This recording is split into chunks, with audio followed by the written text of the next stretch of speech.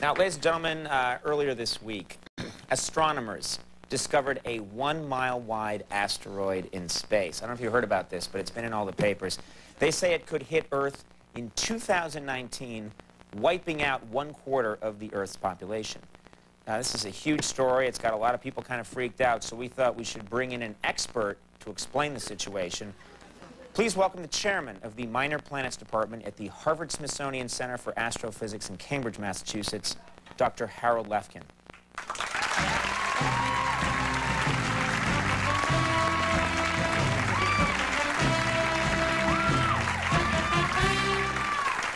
Thanks for being with us, uh, Dr. Lefkin. Let me just ask you point blank, should we be concerned? Uh, it's really too early to tell, so I don't think so. Okay. Is there a chance this asteroid could hit Earth? Uh, there are many scenarios, one of which happens to be a direct impact with Earth. We predict sometime in the year 2019. Okay. If it is going to hit Earth, what can we, what can we, the people of Earth, do to stop it? In my opinion, I think our best bet would be uh, to drill a hole in the asteroid, plant a small nuclear device somewhere in the middle, and uh, blow it up from within. So, you can, you can really do that? I mean, science can do that? Yes, we can do that, but before we did that, the first step would be, I would say we have to assemble a ragtag group of irreverent oil riggers, have them land a spacecraft on the asteroid, and plant the explosive. Oil riggers? That's right. Now, we already have, we've got the grizzled veteran. This guy's, this guy's years of hard work have rendered him too old for this. Um, we've got the borderline psychotic sardonic geek. We've got the handsome young buck. You know, and this guy's sexual, his sexual relations with the grizzled veteran's daughter, that's going to provide an intriguing source of conflict. All right.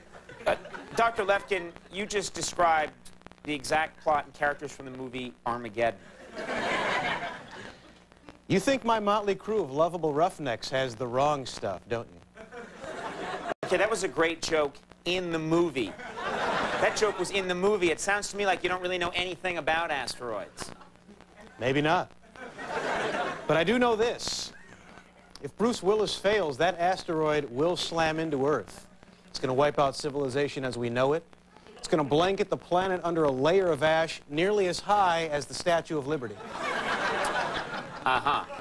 This, of course, is going to provide ideal conditions for the ascension of a new master race of super intelligent talking apes. So, Doctor, you're talking about a planet of the apes?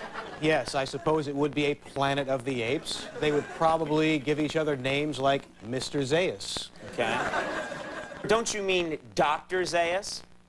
I suppose if they went to college, some of them could become doctors. Okay, you're an idiot. That's We don't enough. know that We're going to take a break. Is a to total tell. waste of everyone's time. No, it's, It's not not, hard waste, to tell. We'll be right back. to Andy Kindler. That was a waste of everyone's time.